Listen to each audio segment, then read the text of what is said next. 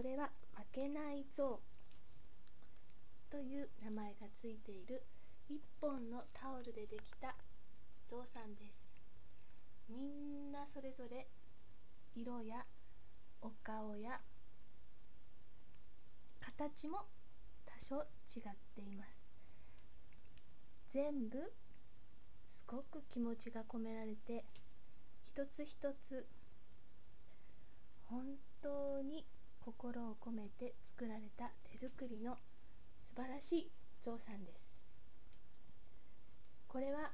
阪神・淡路大震災の時に神戸で生まれた負けない象くんです。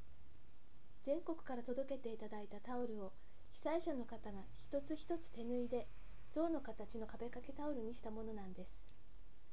その後の新潟中越地震や中越沖地震などの被災地に引き継がれました。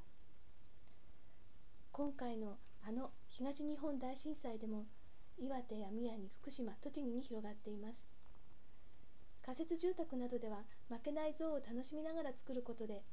新たな仲間コミュニティづくり生きがいづくり仕事づくりなどの復興支援になります。